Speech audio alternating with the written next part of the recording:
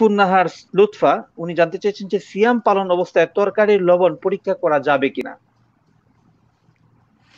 জি, সুয়াম পালন অবস্থায় ফোকাহাগুন বলেন, কেউ যদি তরকারি লবণ কম হয়েছে না বেশি হয়েছে, এটা যেহেতু একটি মাসলাহার বিষয়, অর্থাৎ দশজন পনেরো জন মানুষ এই খাবার খাবে, তো এক্ষেত্রে উনি স্বাদ টেস্ট করতে পারবেন, কিন্তু গিলতে পারবেন না। কথাটা আমি আবার বলছি উনি স্বাদ টেস্ট করতে পারবেন কিন্তু সেটা গিলে ফেলতে পারবেন না। উনি স্বাদ দেখলেন লবণ কম হয়েছে না বেশি হয়েছে কুলি করে ফেলে দিবেন। কোনো অসুবিধা নাই ইনশা আল্লাহ তালা আমাদের একজন ভাই বোন সাদিয়া জানতে চেয়েছেন যে ঘরে সাজগুজের সময় আইল্যান্ড বা চোখের যে পাপড়ি ব্যবহার করা যাবে কিনা। আইলেশ বা চোখের পাপড়ি ব্যবহার করা যাবে কিনা? আচ্ছা এ ব্যাপারে আমরা বলব, ওয়াল আসলু ফিল মুআমালাতি আল ইবাহা।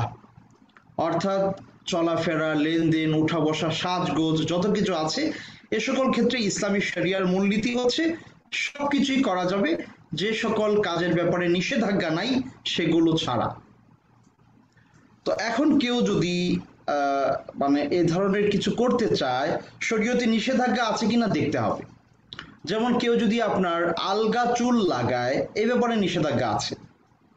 অর্থাৎ কারও চুল হয়তো ছোট, কিন্তু মানে পরচুলা ব্যবহারের ব্যাপারে আল্লাহ রসুলাম সুস্পষ্ট নিষেধ করেছেন। কেউ যদি আপনার শরীরে উল্কি আঁকে লান আল্লাহুল ওয়াসিমাত ওয়াল মুস্তাউসিমাত ওয়াল ওয়াসিলাত ওয়াল মুস্তাউসিলাত এ ধরনের বর্ণনা আসছে। কেউ যদি উল্কি আঁকে, কেউ যদি ব্রু থেকে চুল মানে উঠিয়ে ফেলে এই ব্যাপারগুলোতে নিষেধাজ্ঞা আছে।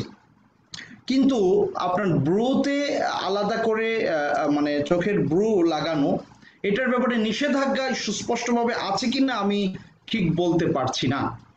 যদি নিষেধাজ্ঞা না থাকে, তাহলে সেটা ব্যবহার করা যাবে ইনশা আল্লাহ তালা সাজসজ্জার জন্য ঘরে, ঘরোয়া পরিবেশে কোনো অসুবিধা নাই। তার স্বামীর সামনে কোনো অসুবিধা নেই, কিন্তু সেটা পরিধান করে, এটা তো একটা সাজসজ্জা।